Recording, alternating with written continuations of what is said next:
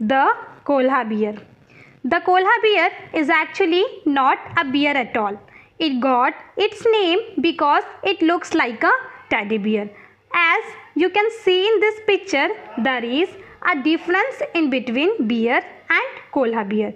Why it is called as a Koala bear? Because it looks like a teddy bear. The Koala actually belongs to a family of animal called marsupials. Marsupials means animal that carry their baby in their pouches. As you can see in this image, this animal is carrying its baby in its pouch. Marsupials were first found in North America.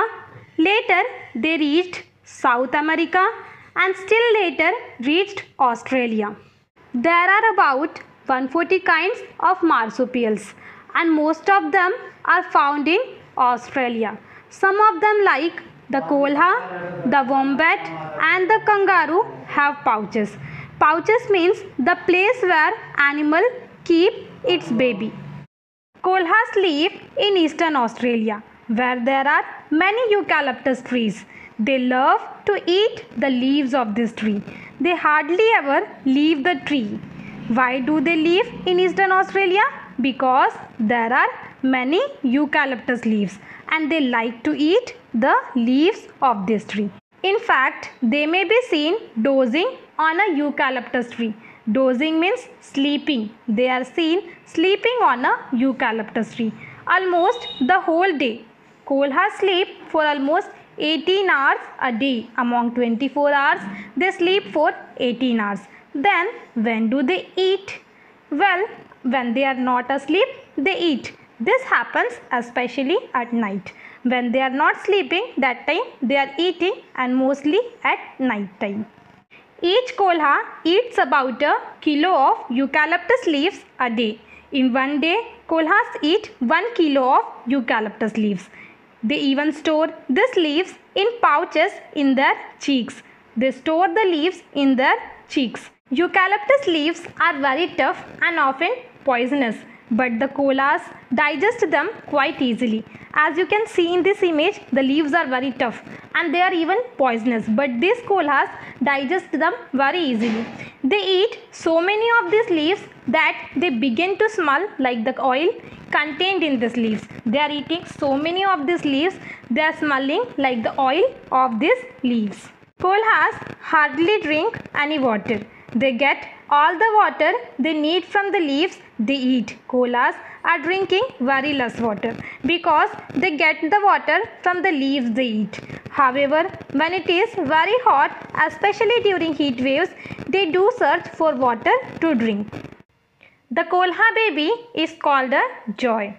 When it is born, it is hairless and earless. It is also blind. So, what is koala's baby called? It is called as joy and when it is born, it is hairless, earless and also blind.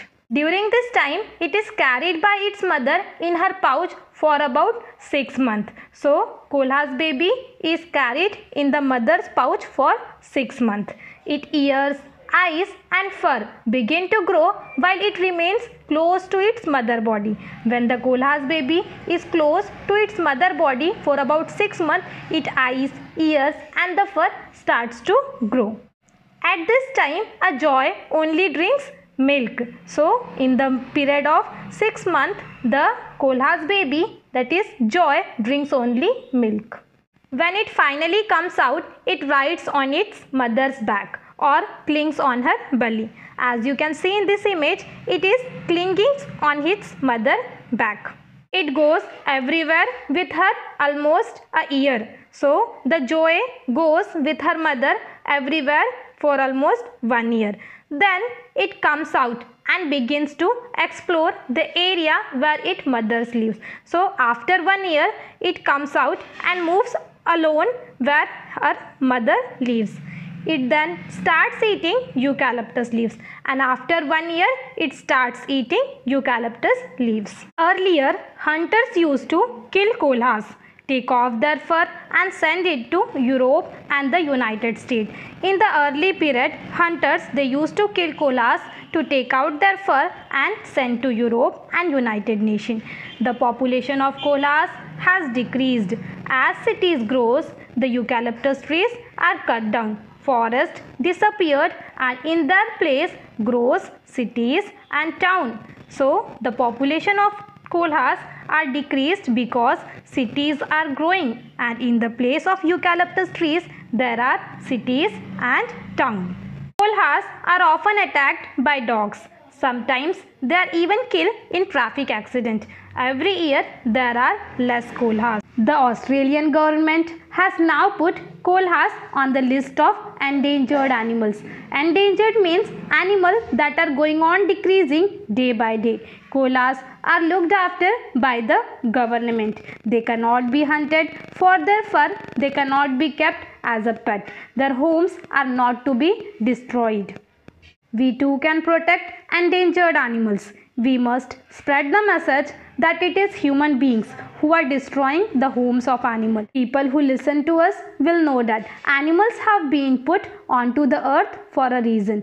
As we make sure that we are comfortable, we should also make sure that animals are allowed to live in their homes. Let us protect all God's creature as we protect ourselves.